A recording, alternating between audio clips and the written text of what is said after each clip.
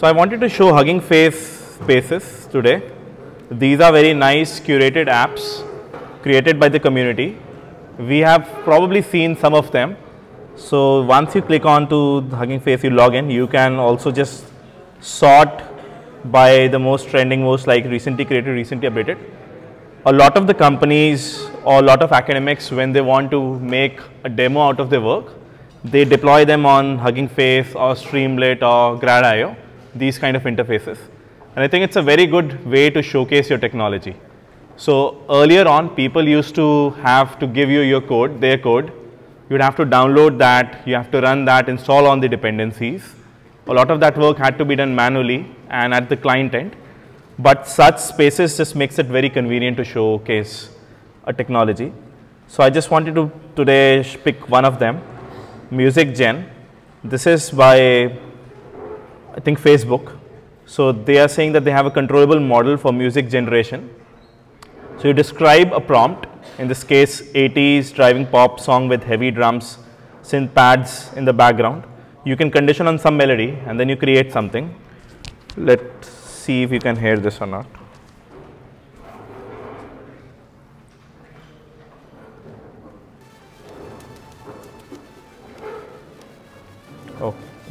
Just one second. Let me.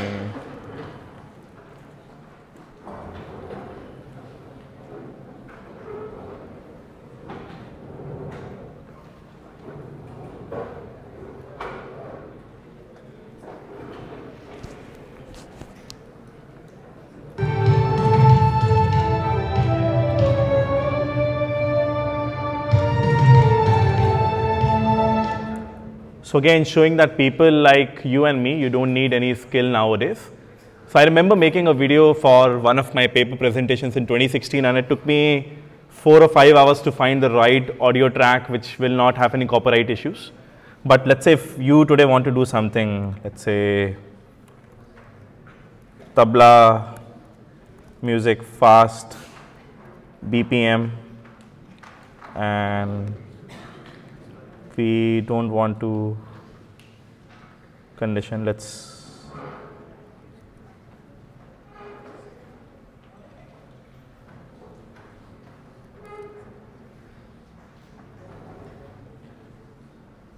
okay the page is taking some time to load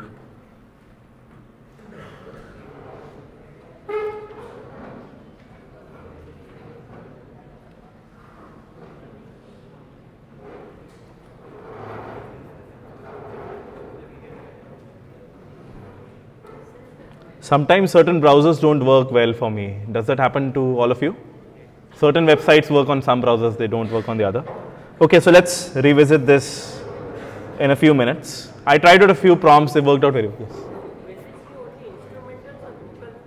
So the question is, is this only instrumental vocals? I think this is just instrumentals. Okay, we'll, let's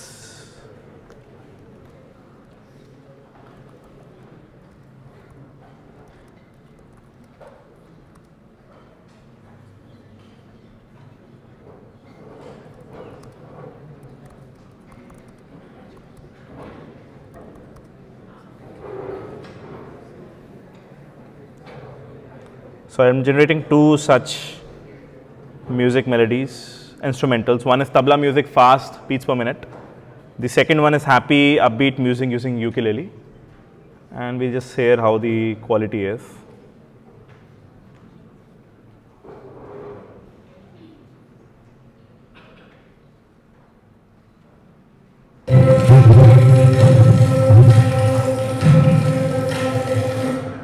So again, would have been perhaps very difficult to create such music. Like you'll have to learn an instrument, but you can put part of these in your videos if you want to create. Let's see, the second one is ukulele.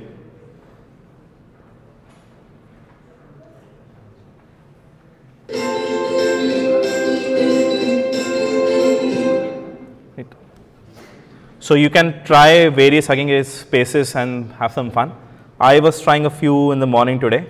DALL-E Mini I tried out. It gives, it doesn't give very good results on human beings. I tried to create human beings sitting in a class, human beings doing this, that. But it works well on the kind of, the other kinds of, let's say cartoon kind of images. So Whisper I had already shown was the model which converts from speech to text. This one is a very fast implementation in JAX. So I think this is some X, some factors quicker than the others.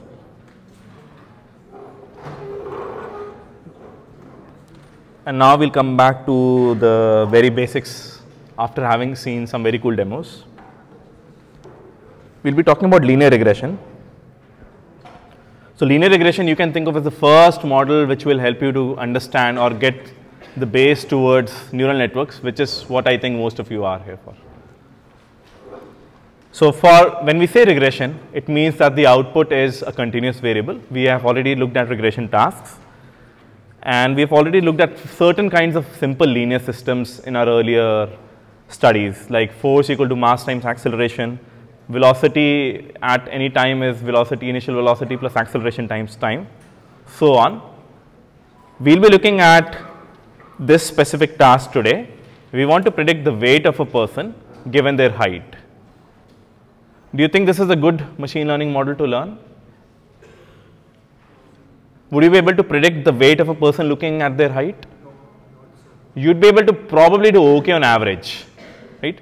Which is again something machine learning systems, if the metrics are not well optimized, you'll do good on average. But for the very specific cases you're trying to build this model, let's say you're trying to find out people who are malnourished or you're trying to find out obese people. For such cases, just using height as a feature will probably fail. So we'll again use the first part of the data as training, the last part as testing. We may be able to create a data set like this, where we have plotted the data using these points. We can see that there are some kinds of outliers, people who are tall but way less, people who, who are let's say not that tall but way more, we can have these kinds of outliers. Now what we're trying to say is that can we expect on average to learn a linear relationship between the weight and the height? Generally as the height will increase, the weight will also increase. Right? So whenever we talk about a machine learning model, we have to we have to specify a certain assumptions. In this case, model makes assumptions. In this case, our model is making a simple assumption that our output variable weight is a linear function of the input features. So what we're saying is that maybe for the first individual, our model is some linear function of height, which is let's say theta naught plus theta 1 into height. For the second individual, second data set point, it's theta naught plus theta 1 into height of the second individual. And for the nth, it's theta naught plus theta 1 into height of the nth individual. So, we will see this pattern being repeated a lot whenever you want to deal with complex or whenever you want to deal with matrices. It's always easy to start with a simple vector with a, with a simple scalar calculation. So, weight of ith individual is a scalar, height of the ith individual is also a scalar and theta naught theta 1s are all scalars. You write all of these scalars, you stack them up and we can then write for the ith individual this formula theta naught theta naught plus theta 1 into height of i. We can then convert these individual scalar equations into a matrix form. So, my weight of i, these were n values, n scalars, I stack them up one below the other to make a column matrix so, n rows, one column and I have two parameters which I will be learning through this exercise theta naught and theta 1. No laptops please, I see at least two laptops open. So, we are learning two parameters theta naught and theta 1. Why have we written this data in a slightly weird form? Previously it looked very neat and clean, right? Theta naught plus theta 1 into height, theta naught plus theta 1 into height 2 why suddenly we have a column of all ones. So, again let us look at this expression and see if weight of 1 will come out correctly using this matrix vector product. Weight of 1 equal to you look at the first row and the only column that you have. So, 1 into theta naught plus height of the first individual into theta 1. Similarly, weight of the second individual is 1 into theta naught plus height 2 into theta 1. So, that is why we can write this matrix representation of the expression. We look at this very often in the course. Start with scalars, stack them up into forming columns. The output variable typically in our machine learning course would be a scalar. You are trying to predict a single value and once you stack scalars you get a vector and the input features would typically be a matrix. We will typically have n rows and some d features and then in this specific case for this linear regression model we have two parameters. So, then if you want to write generally in this matrix vector notation, we can write the matrix W which is n cross 1 is a product of two matrices X which is n rows 2 columns and theta which is of shape 2 cross 1. So, very often in, in maths and in code I think if we just specify the shapes correctly we have solved a lot of the bugs, we have avoided a lot of the potential bugs you see. Theta naught as you know in a linear model we will say it to be the bias term or the intercept term. What do you think theta naught here represents? What is the interpretation of theta naught in this model? The intercept is the mathematical representation. In this specific model, constant. it's a constant, but what does it mean? Yes, someone? Height. So, so let's look at this equation. Weight of i is theta naught plus theta 1 into height of i, right? if you want to see the effect of theta naught only, let us assume height of i is 0, then theta naught is the weight of the ith individual. Right? So, what does this mean? Theta naught is the height of people, is the weight of people with 0 height. Again, does not have any physical significance in this specific problem, but that is something you will also have to, you will always have to be a little careful about. So, you will have to see that these particular factors should be always bounded otherwise your model will produce negative weights, negative heights these kinds of things which have physically no meaning. And how would you interpret theta 1? It is the slope term but how would you interpret that? When? So, let us assume that height of an individual, let's assume height of an individual is 1 unit, 1 feet. Let's say if that person were to go from, or we have another person whose height is 2 feet or 2 units.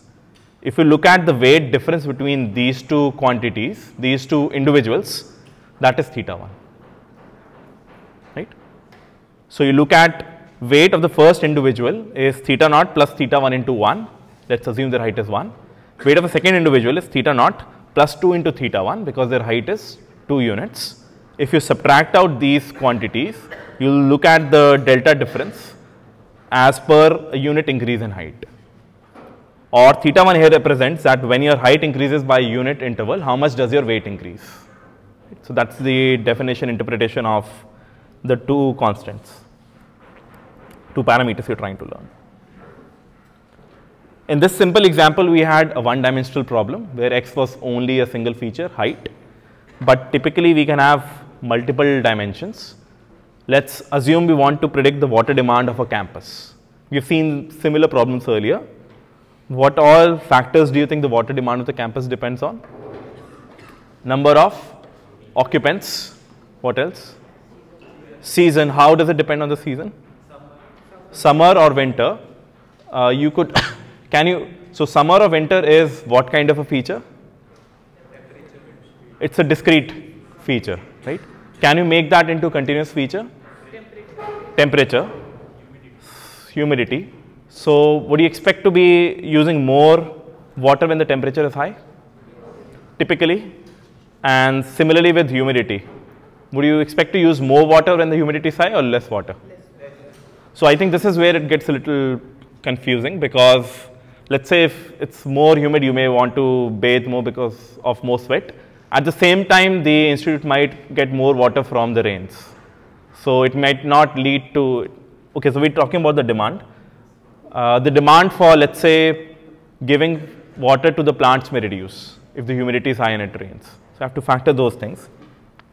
But you could simply think of it as some, some number of features like occupants, temperature, etc. Again, if we have to write this as a simple linear system, we may write that the demand is some base demand plus K1 times the number of occupants plus K2 times the temperature. Now let's talk about these different quantities. Do you expect the base demand to be a positive quantity or a negative quantity? Positive quantity. Why?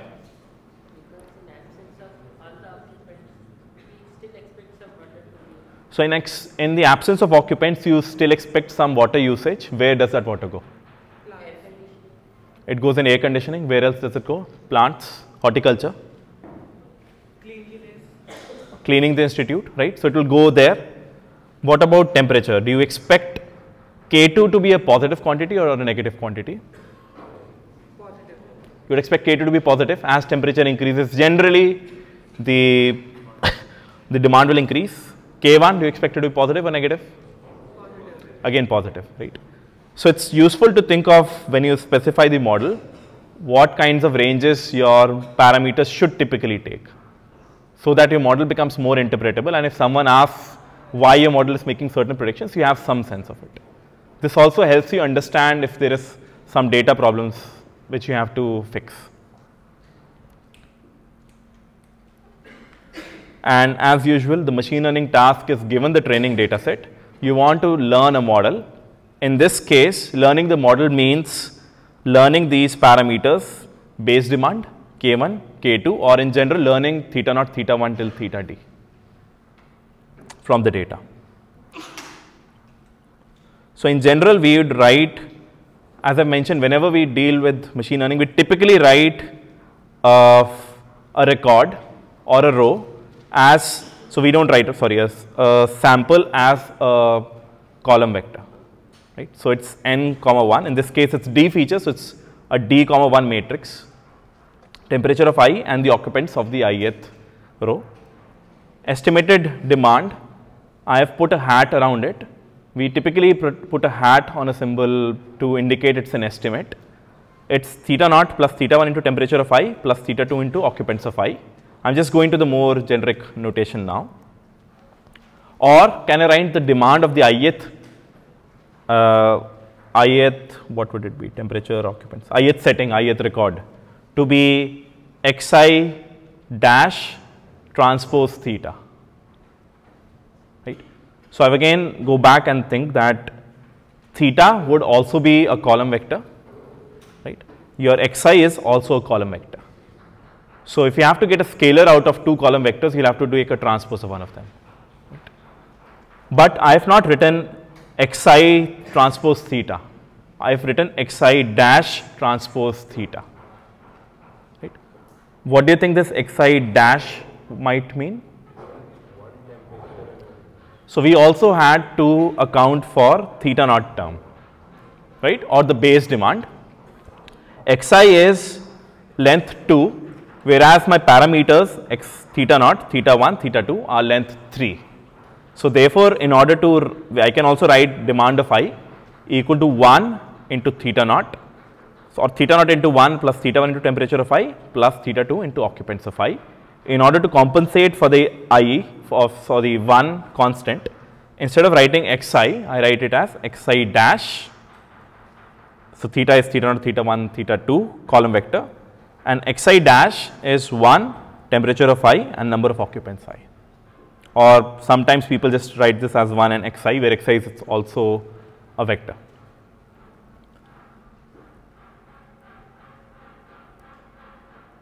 So, we have already seen the meaning of theta naught, theta 1 and theta naught.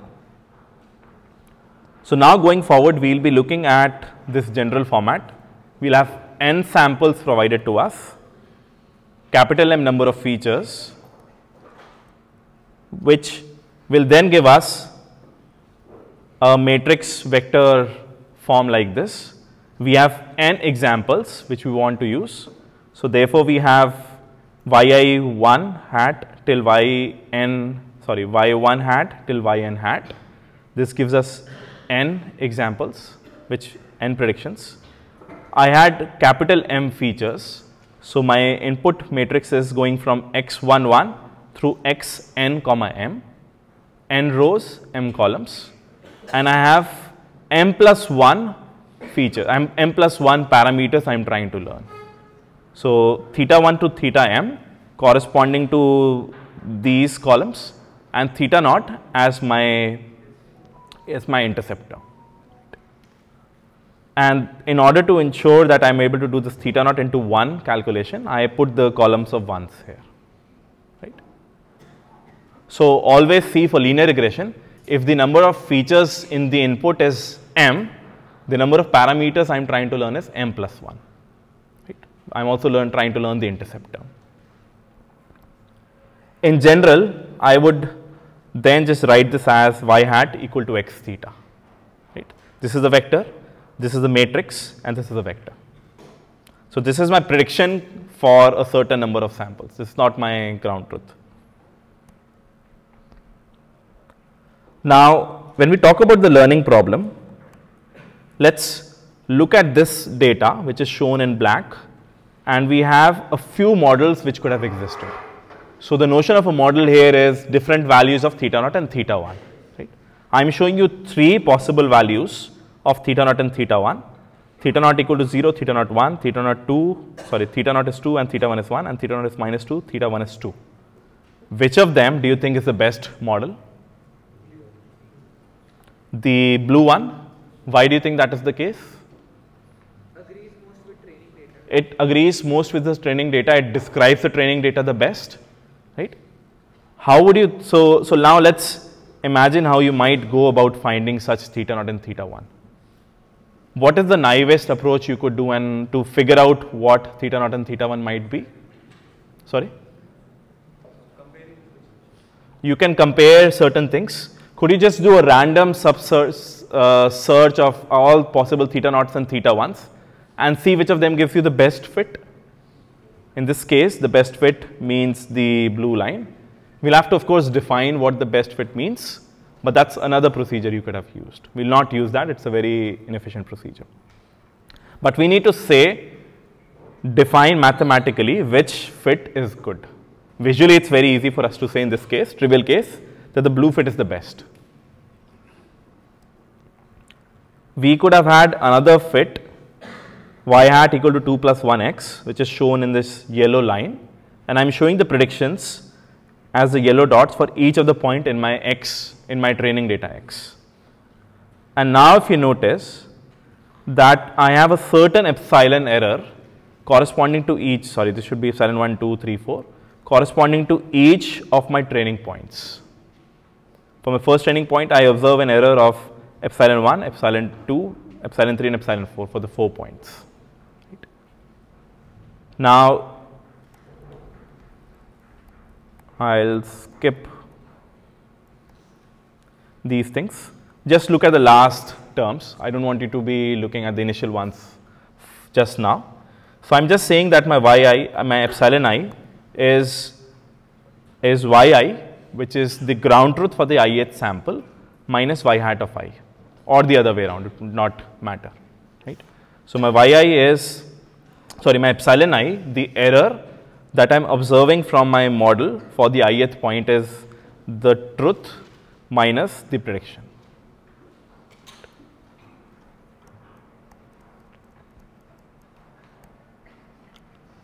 So, how would you define a good fit in terms of these epsilons now? We will have to define how are we measuring the error. So, like so we have defined the definition of the error for each point i that is yi minus yi hat. Now, that gives us epsilon of i. My next question is given all the epsilon i's could you tell me what a good fit means? The epsilon what could be minimized? Total of the absolute errors. What do you mean by that? So, can you talk in terms of epsilon i's? You, or let's simplify this problem. You have you have epsilon 1, epsilon 2, epsilon 3, epsilon 4. What function do you want to say that quantifies the fit? Square or mod of what? Okay. So we say that a good fit might mean that each of the epsilon values is small but the magnitude of them, not specifically their with the directions. Um, they should be small. Or we could say that let's minimize or let's say that the summation of epsilons, squares of epsilons is small. Why do we not say that summation of epsilons is small? Because some of them may get cancelled out. You may have certain errors in the positive direction and certain errors in the negative direction which will get cancelled out. So therefore, we could have had various ways to quantify whether a fit is good or not. One, we have said that each of the epsilon i's magnitude is small or the sum of the sum of the absolute values of epsilon is small or sum of squares of epsilon is small, right. If we consider this definition, it means that we are saying that the L2 norm of the epsilon vector should be small. The epsilon is also a vector of n points. For each of the point, you have certain error from between difference between the ground truth and the prediction. Uh, for n points, you have an epsilon vector. You can say that by minimizing the L2 norm, you can get a good fit. Similarly, another way to figure out the fit of the data is by looking at the L1 norm which should be magnitude of epsilon 1, magnitude of epsilon 2, so on and so forth. Is a small typo here.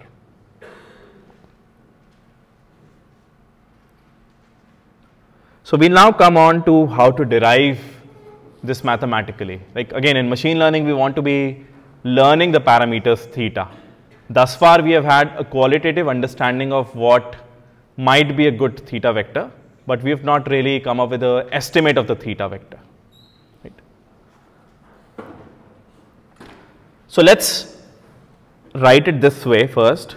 Our ground truth vector y is x theta plus some epsilon vector. Our x theta is our y hat Right. we just saw that a few minutes back, right. Our x theta is our y hat vector. This is a prediction vector for the n points and this is not the ground truth. The ground truth is the vector y, but we said that the difference between the ground truth and the predicted is the epsilon vector. Right? That is as per our definition of epsilon vector. What is the size of the epsilon vector? Can someone quickly tell me? What is the dimension of the epsilon vector? n cross 1, matrix x,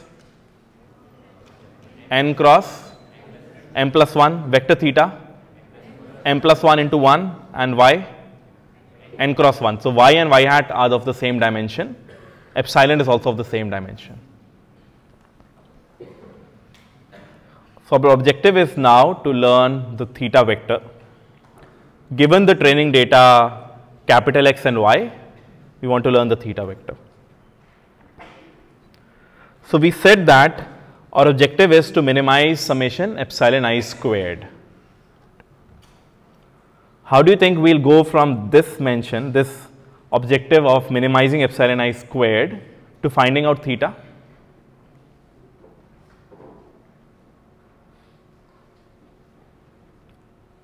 The first question to you is, how do you even write this epsilon i squared summation in terms of the epsilon vector? So, can you work this out in your notebooks? Epsilon vector is n cross 1 vector. It would help if you just write it as epsilon 1, epsilon 2 till epsilon n. From that vector, you need to somehow find out this quantity epsilon 1 squared plus epsilon 2 squared plus epsilon n squared. You can just write it down so that everyone gets can quickly write this down.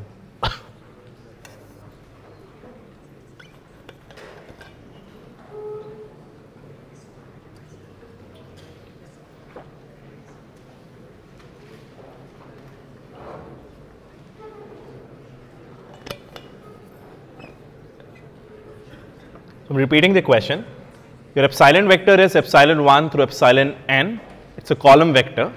Using that, how would you write this quantity epsilon 1 squared plus epsilon 2 squared plus epsilon n squared?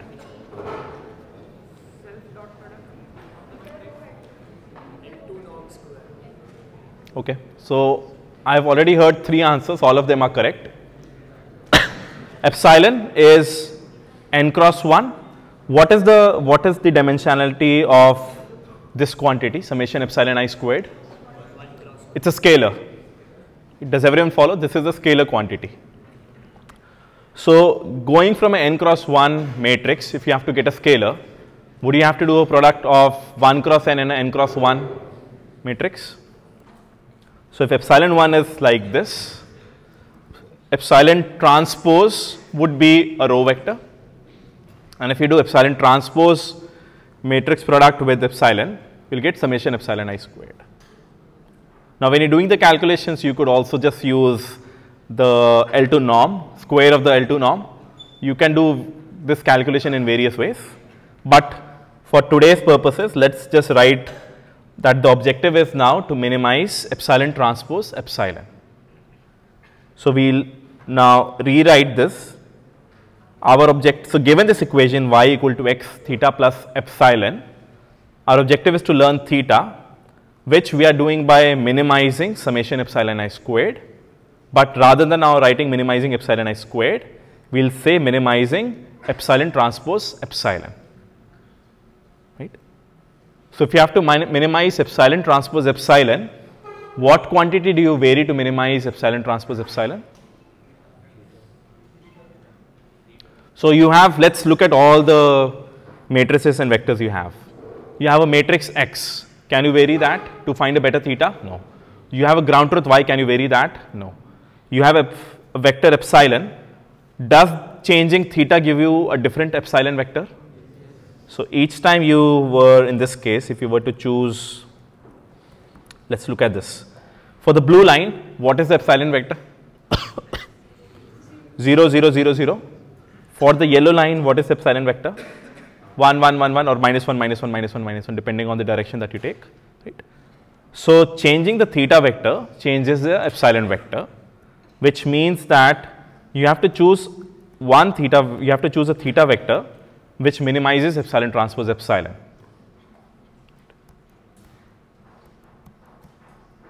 Now, whenever you have to find out the minimum of a function with respect to a certain quantity, what do you do? You find the derivative, you find the gradient with respect to that quantity, right? So, your objective function, the function you are trying to minimize is epsilon transpose epsilon. It depends on theta in some way, right? So, let us do this exercise. Can you just write epsilon transpose epsilon and just make it in a so just simplify that expression for me using whatever you see on the current slide.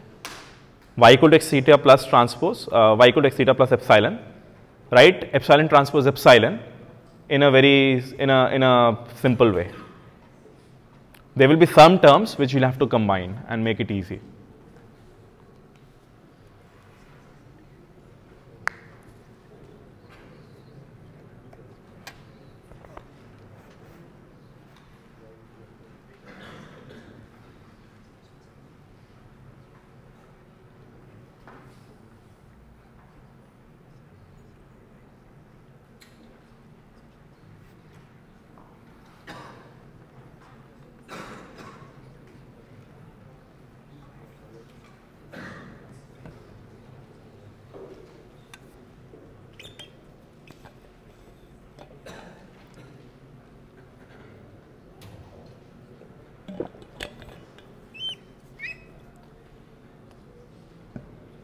Does anyone have an answer?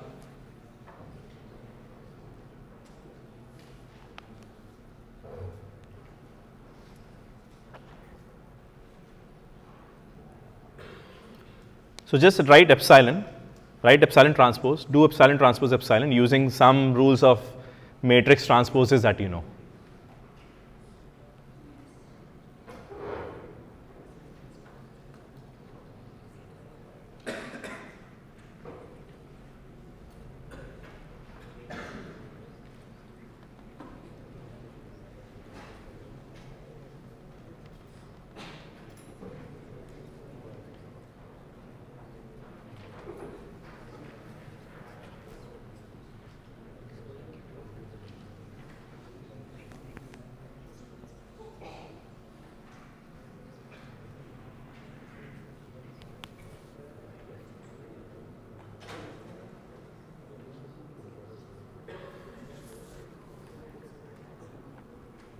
If anyone has finished this step, they can go on to the next step. Find out the gradient with respect to theta, set it to 0.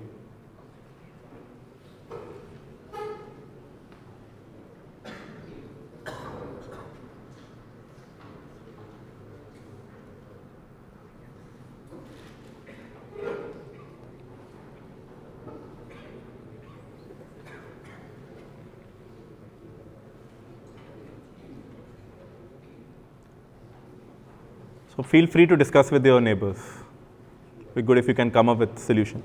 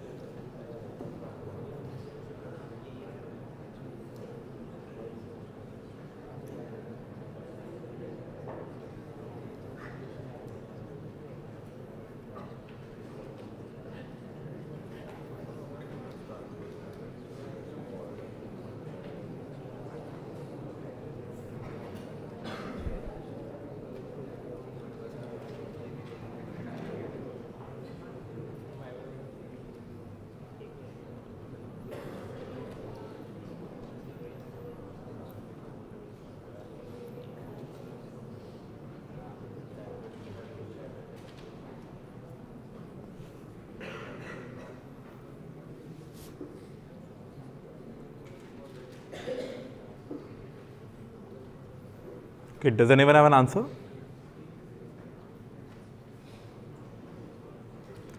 So that's why specifically I do this exercise in the class. This very simple looking thing is it takes us time because we have not revised, we've not been able to revise a few matrix identities, etc.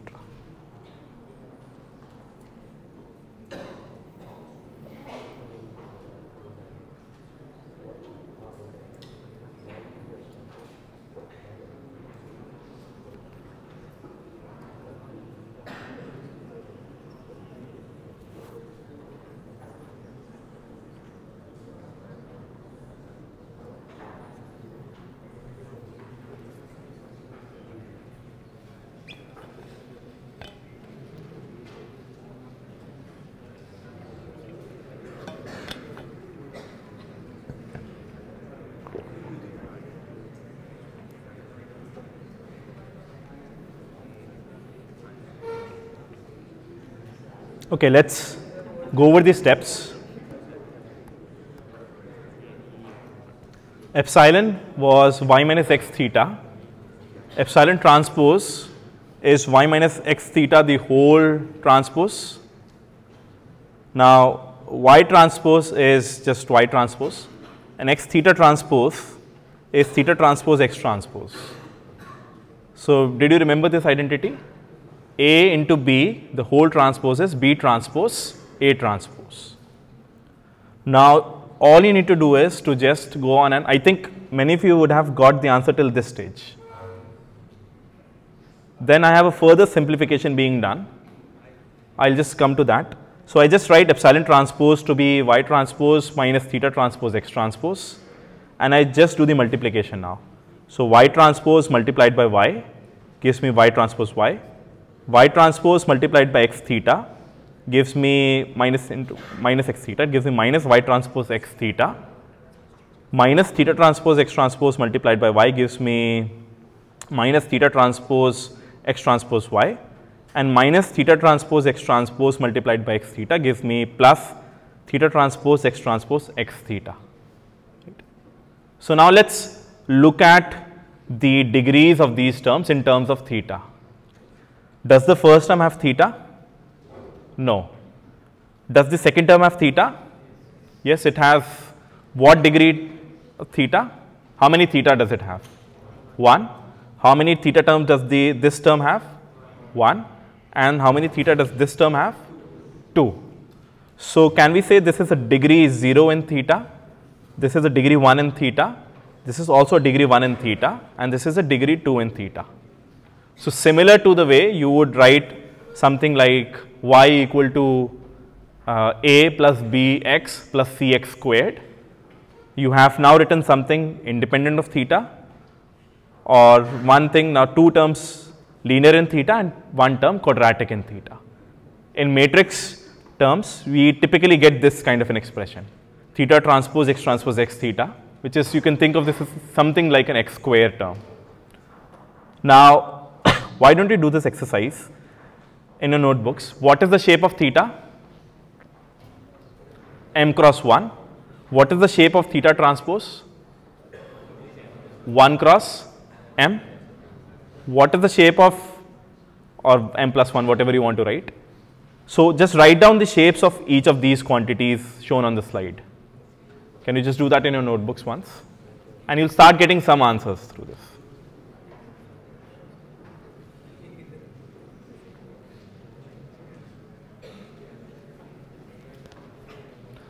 Write down the shape of theta and thus write down the shape of theta transpose and similarly write the shape of x transpose.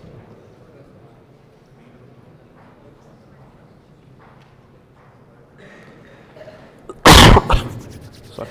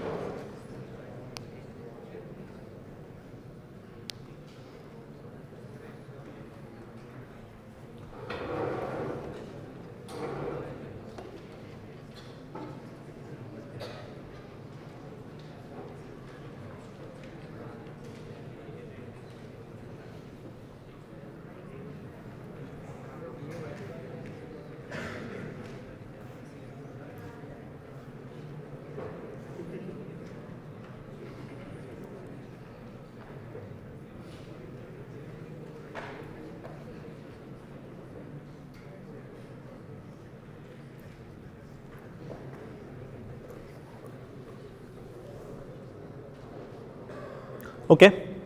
I hope all of you have written down the shapes. Actually, I didn't need to do this exercise because of what I told a few minutes back. Epsilon transpose epsilon is a scalar.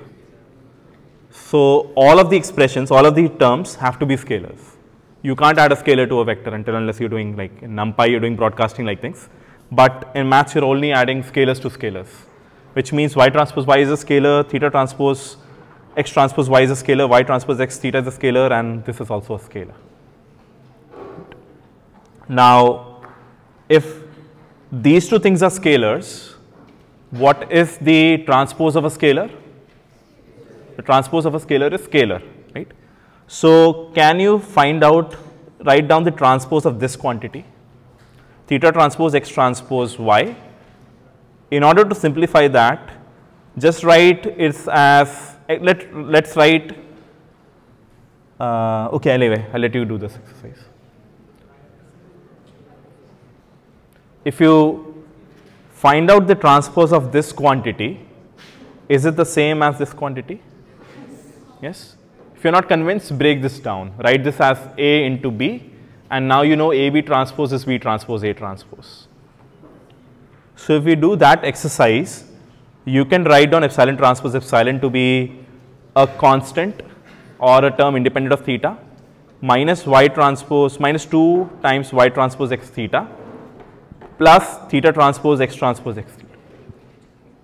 Now, you may have asked that why have we taken the why have I written this why have I taken a transpose of this term and written in the form of this trans this term and not the other way around because that's just the standard convention. So, you have something multiplied by theta and then theta transpose something into theta that is a quadratic in in the matrix terms. So, this is a scalar. So, the input to this function is a vector right. This function you are trying to minimize the function epsilon transpose epsilon is a function of theta. You're trying to minimize this function of theta where the theta input is a vector.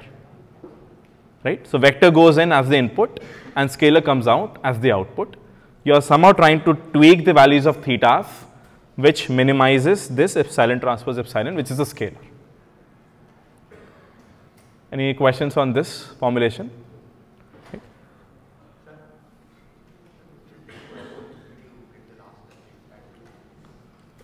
The last step going from this line to this line? Yes. So, all of these are scalars. The transpose of a scalar is the same scalar. So, therefore, if you take the transpose of this quantity, you will get this quantity. If you want to break this down, just write theta transpose x transpose equal to A and y equal to B. Right. So, then you have A into B and if you take a transpose of A into B, you get B transpose A transpose. And if you then see B transpose was Y transpose, it comes here and theta transpose X transpose transpose will come out to be X theta. So, that is how you get this term repeated twice. Other questions on this? So, I want you to mainly grasp this fact that you have a theta vector as an input to this function and you are getting a scalar as an output. You are trying to minimize this scalar as a function of the theta. So, change the theta a little bit, so change the theta in a way so that the scalar output is minimized. Now, how do you find out the derivative of a scalar with respect to a vector? Have you done that earlier in any course? So, the this is a function, it's a grade, it's called a gradient. So, this entire thing is a scalar, but you're trying to find out the derivative or the gradient of this with respect to a vector. Right. Have you done that earlier? Let's let's take a small example to understand that.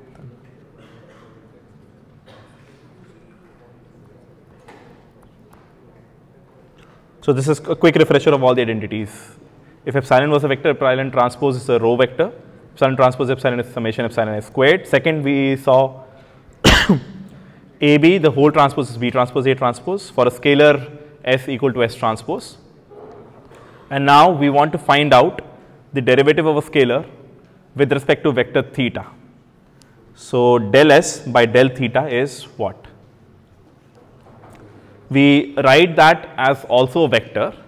So, derivative of a scalar with a vector is also a vector, so called a gradient, where the first term is the partial of the scalar with respect to theta 1. Right. So, think of the scalar s to be theta naught plus theta 1 squared, theta 1 plus theta 2 squared plus theta 3 anything. Right. It is some function from which you get a scalar value and if you find out the, you're trying to find out the derivative of scalar with respect to uh, vector theta, it's called a gradient. The first term is the partial of the scalar with respect to the first term of theta and so on. So, therefore, del s by del theta has the same dimensionality as theta in this case. It's called the gradient. We'll come back to the gradient in a probably in the next class. We'll see if we can get to it today itself. So, now this is your objective. You want to find out the gradient of this quantity with respect to theta. Can you do that in your notebooks? Let us start with us this exercise and then I will again show you some identities which make this calculation easier for you. So, you want to find out del of epsilon transpose epsilon with respect to theta, theta being a vector.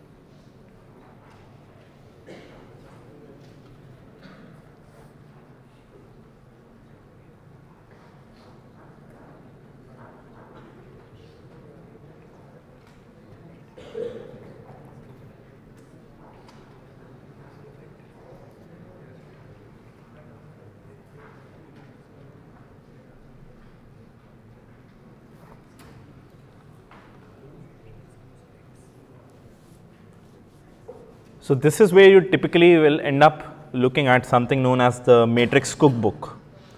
Has anyone seen this earlier? The matrix cookbook, has anyone seen this earlier? Okay. So this contains various identities of operations of matrices. So derivative of determinant inverse. It's a big book which gets very often used when you are trying to solve such things. So we could either directly pick up a result from here and show you what the derivatives are, but I wanted to give you a slightly easier way to remember these things. The derivatives of scalars with respect to various quantities and matrix vector combinations. So I'm not doing this the rigorous way, I'm taking certain examples to make it easier for you. Let's say if A is a row vector, so row vector is 1 cross n and theta is a column vector which is n cross 1, A theta will obviously now be a scalar. So theta is theta 1, theta 2 and A is A1, A2, it's a row vector. A into theta will be a scalar 1 cross 1 which we can also write as A1 theta 1 plus A2 theta 2. Right. So A theta is a scalar. Now we want to find out the derivative of A theta with respect to theta. Let's again remember how we did it previously. If we have a scalar and we write it and we want to find it with the derivative of a scalar with respect to vector, we write the scalar and each of the terms of the vector and find out its partial. So therefore, what will be del of A theta with respect to theta? Can you tell me the answer? What is del of A theta with respect to theta? How many think it's A? How many think it's A transpose? How many think it's not defined? Okay, so you, I don't want you to do anything sophisticated. Just use the definition I showed in the previous slide. You have a scalar a1 theta 1 plus a2 theta 2 if you want to find out the derivative of the scalar with respect to vector or find out the gradient, so del over del theta 1 of the scalar and in the second term we have del over del theta 2 of the scalar again, right. So basically this, this particular slide in action and if you do it this way, you will get a1 and a2 which is now the a vector, but a vector is now coming in the form of a column vector, but the original a vector was a row vector. So therefore, del A theta by theta is A transpose. Now you could do this in more mathematically rigorous ways. I don't intend to do that today. But this is just to remember that we'll have terms like this del of A theta by del theta that will be A transpose. So I had a term like this in this expression. Now if you have to do del of epsilon transpose epsilon with respect to theta, can you see that you have a term which is like A into theta? So you can find out the derivative of this quantity. You can find out the gradient with respect to this quantity. This thing is independent of theta. So the gradient of something which is independent of theta is 0. In this case, it's a 0 vector because theta is a vector. Now we have to find out the gradient of quantities like this with respect to theta. It's slightly complicated, but you can think of this as again similar to the quadratic gradients, quadratic derivatives that you're trying to find out. So let's do a simple exercise for this also.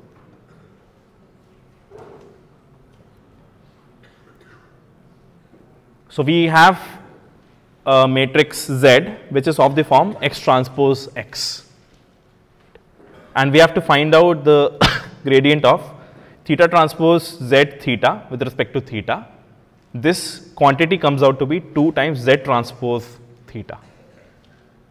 Similar to the way we did previously, I took a simple example of A and theta. I did this calculation. Can you prove this?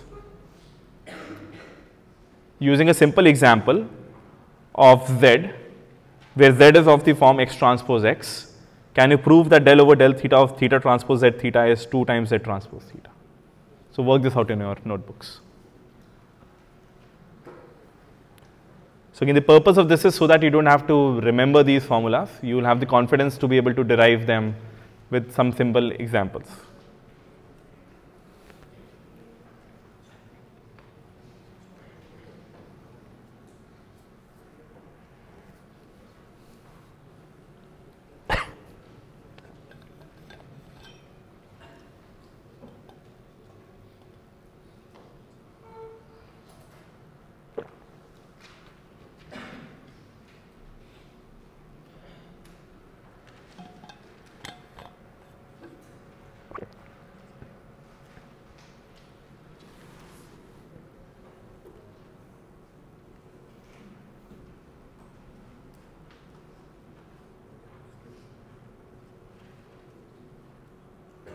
Of course, you have to assume here that theta transpose z theta is a scalar.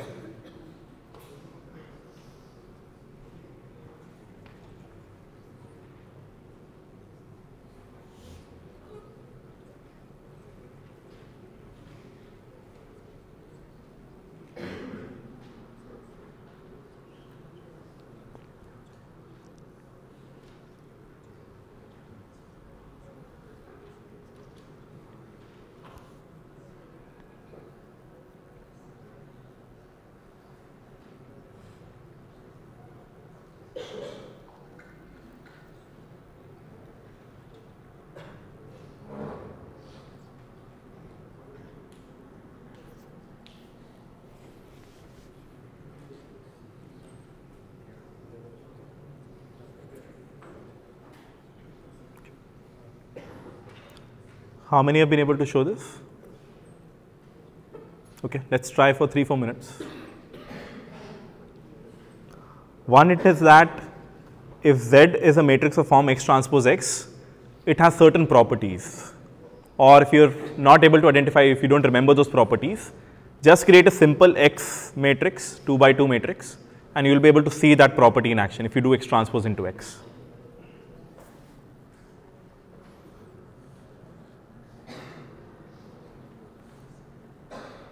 Does anyone want to say that? What is that property which X transpose X like matrix uh, possesses? So, so, it has to be square, that is symmetric. Symmetric is what I was looking for.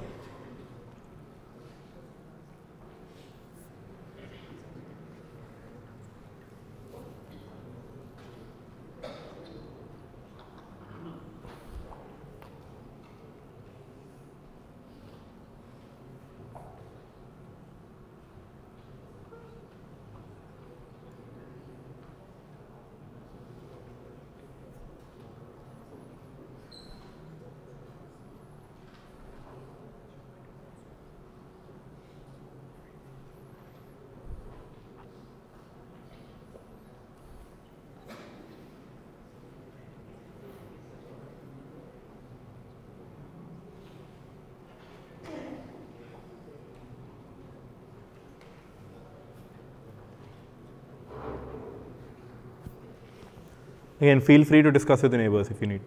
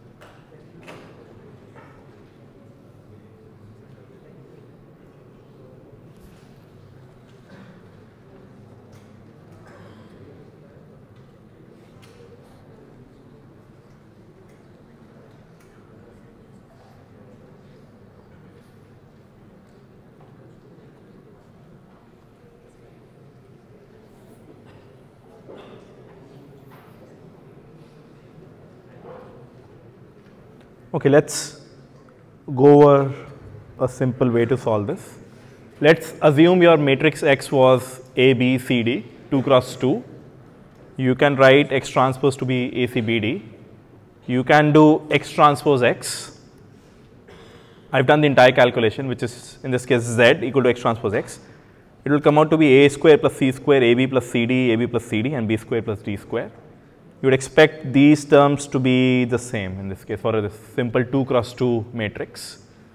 Now, I can either use all of these terms or I can just for the purposes of this illustration, I can make a simplifying assumption. I know that Z has this property Zij equal to Zji or Z transpose is the same as Z. So, let us say that my Z equal to X transpose X is this matrix E F F G.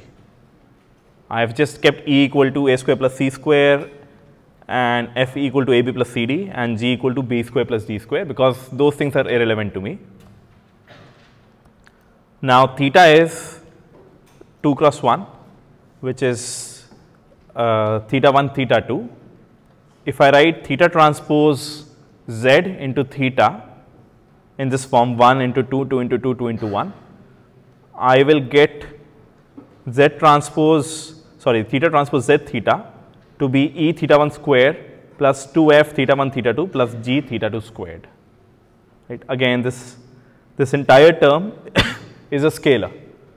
So, if you have to find out the derivative of a scalar with respect to a vector, we have done this exercise two times earlier now. So, find out the derivative of this entire thing with respect to theta 1, what is that? 2e theta 1 plus 2f theta 2.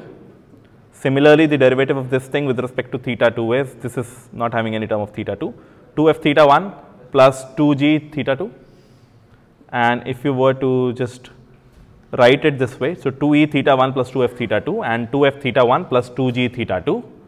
You can rewrite that to be 2ef 2 times ef fg theta 1 theta 2 which is 2 times z theta which is 2 times z transpose theta. So, which I want you to just note down these terms. So, just note down this identity in your notebook once. Del by del theta of theta transpose z theta is 2 times z transpose theta and del by del theta of a theta is a transpose. So, if we written down these two identities, now let us come back to our original problem.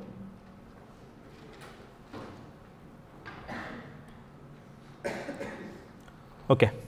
Now, work this out in your notebooks. I want you to find out the gradient of epsilon transpose epsilon or I want you to find out del of epsilon transpose epsilon with respect to theta. Knowing the two identities that I have told you and set that to 0 to tell me what value of theta will you learn from the system which maximize sorry in this case minimizes this function of theta.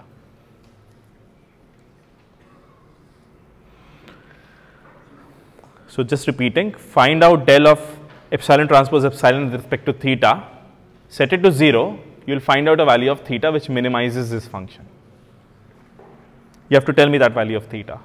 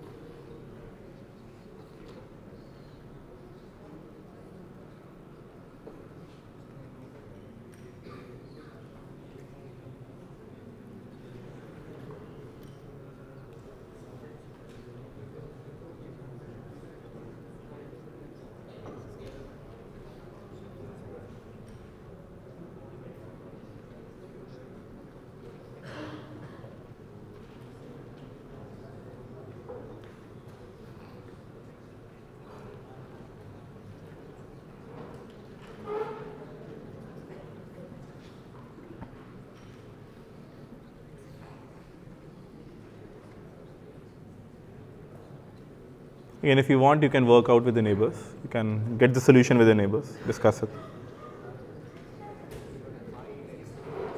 Sorry?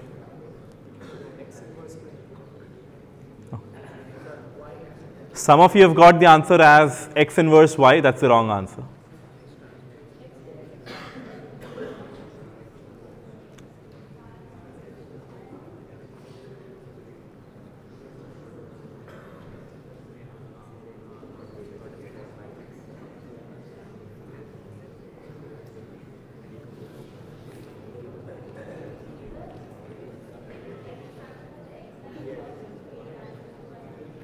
X transpose.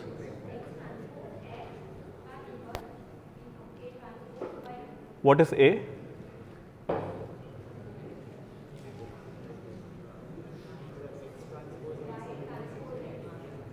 Almost there. Almost there, not 100% correct, but it's correct. Almost there.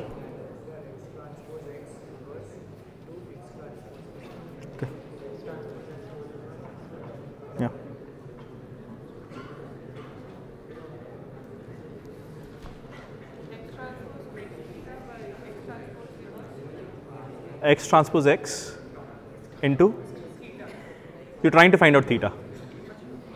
So find out so find out epsilon transpose epsilon gradient with respect to theta set it to 0 and then tell me the theta hat.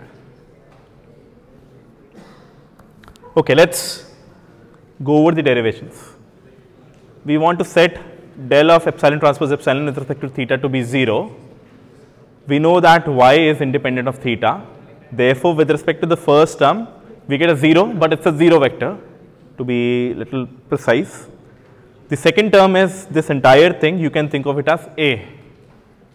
And we know that del A theta by A theta, sorry, del of A theta by del theta is A transpose. So, therefore, minus 2 y transpose x the whole transpose, which comes out to be minus 2 x transpose into y and del of del theta of theta transpose x transpose x theta is 2 times x transpose x theta. Now, you put all of these values in.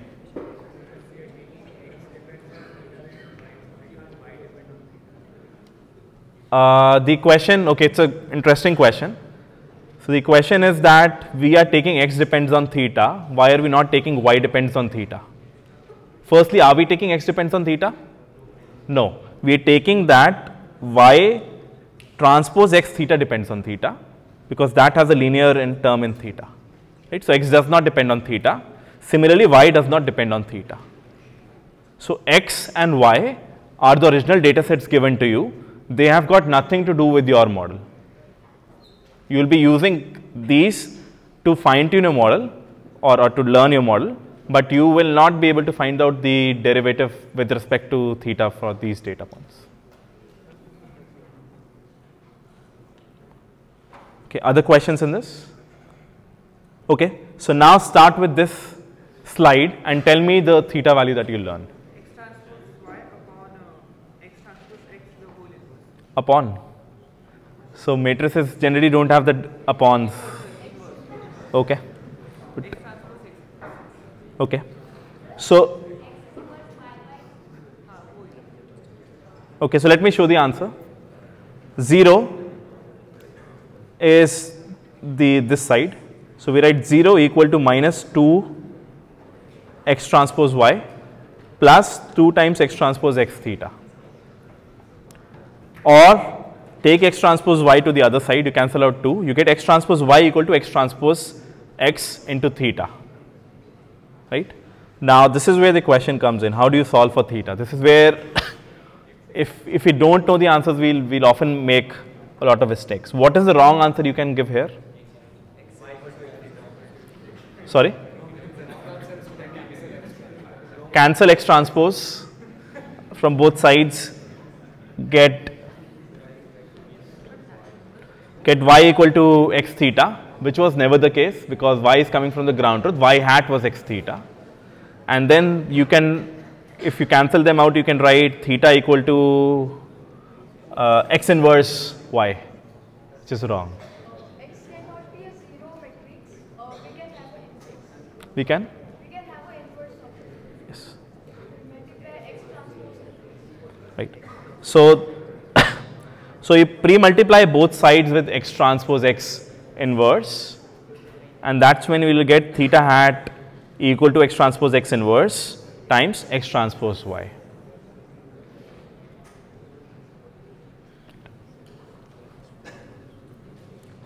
Questions on this?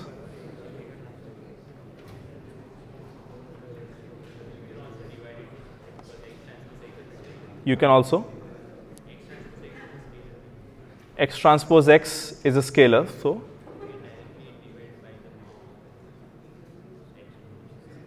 x transpose x is a scalar, no.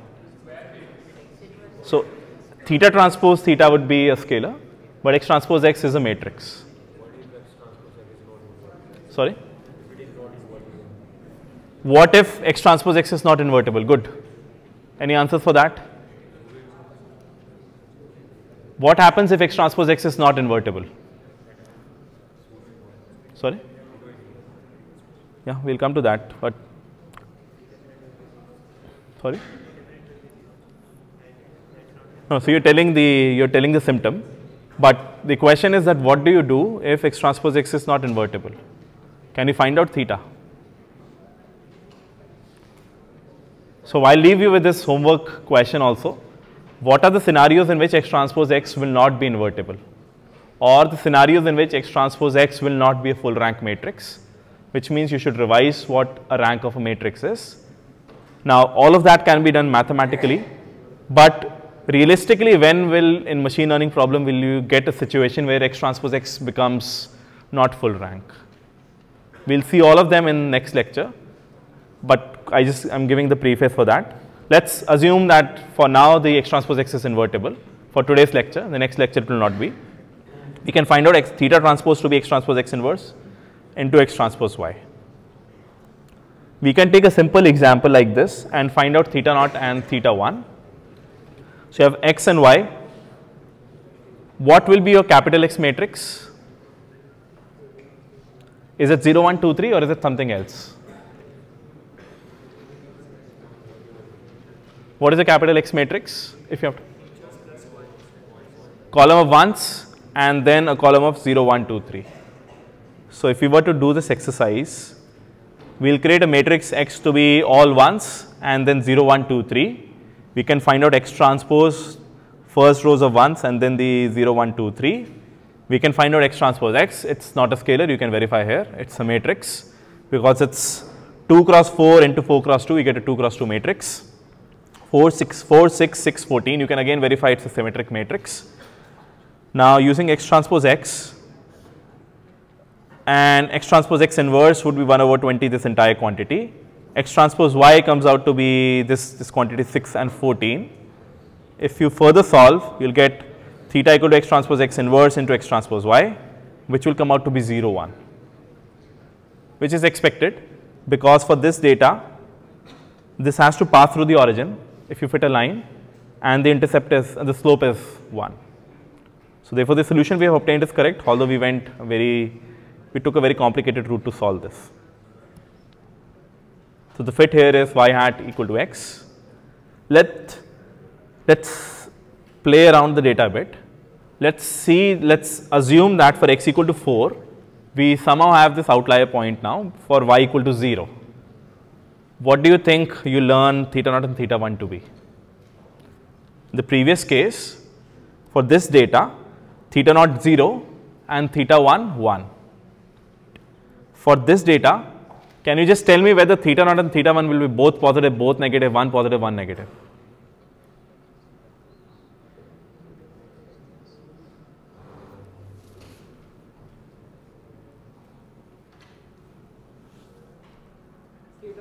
This is the data. So, you have to fit a line to this data and let us say I give you only 30 seconds. You have to tell me the slope and the intercept or just their signs. Intercept is negative. How many think intercept is negative? How many think intercept is positive? Majority think intercept is positive. Okay. Slope positive? Slope negative? So, the model that we learn is this. Intercept positive, slope negative. Seems counterintuitive, but that one point, which is the outlier, is influencing the model a lot.